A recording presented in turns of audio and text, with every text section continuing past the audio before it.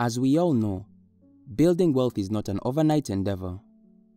It takes a lot of time and effort because it involves trying and failing at new things. However, for the determined entrepreneur, it's common knowledge that without failure you cannot succeed. A lack of failure in your life means that you have not stepped out of your comfort zone and therefore have kept yourself from discovering your full potential.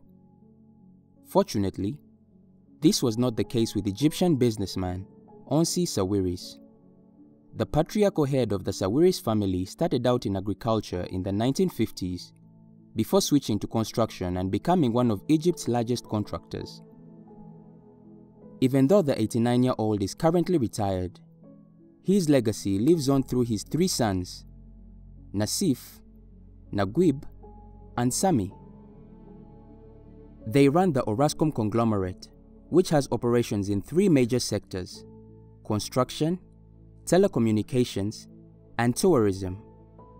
The Sawiris family is the wealthiest family in Egypt, boasting a combined net worth of 36 billion US dollars according to Forbes. They have built an incredible fortune over the years through investing in other markets such as North Korea and Switzerland. It has been an incredible case of student beats master as Nassef Sawiris has accrued a net worth of $7.5 billion in comparison to his father's 1.2 billion. This has made him the fourth richest man in Africa, behind the likes of Aliko Dangote and Mike Adenuga. Nassef is also famous for a deal he struck for the takeover of English Premier League football club Aston Villa in 2018 alongside business partner Wes Edens.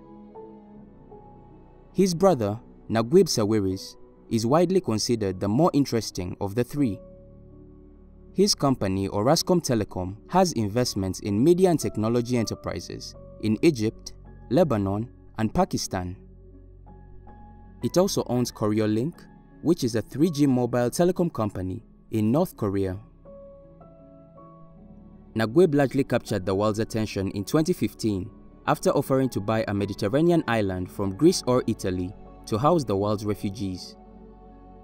The third brother, Samih Sawiris, is the tourism expert valued at $850 million. He is the head of Orascom Development, which builds and operates resorts in Egypt, Montenegro, and Switzerland. Samih was instrumental in rejuvenating Andermatt, a place in Switzerland where he overcame local skepticism to build a new luxury resort. It is evident that the Sawiris family are big on generational wealth and that's why their influence has only grown.